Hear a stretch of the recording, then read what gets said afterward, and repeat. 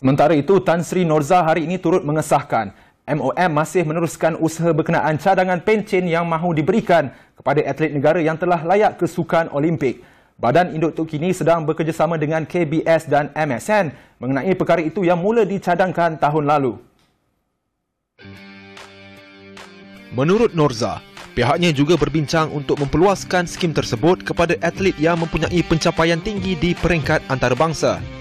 Dan skim ini kalau mulanya kita bercakap tentang Olympian, hari ini kita uh, dengan bantuan MSN akan expand kepada um, uh, atlet-atlet lain yang uh, uh, melibatkan uh, sukan-sukan uh, yang bukan uh, Olimpik dan juga uh, atlet-atlet yang bukan Olympian. So saya rasa benda ini lebih broad dan komprehensif.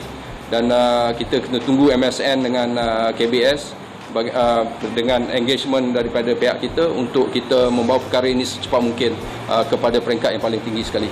MOM pada November tahun lalu mencadangkan skim pencen dimasukkan dalam belanjawan 2021 dalam usaha meringankan beban atlet negara yang telah banyak berkorban dalam membawa kejayaan di Sukan Olimpik dan yang setara dengannya.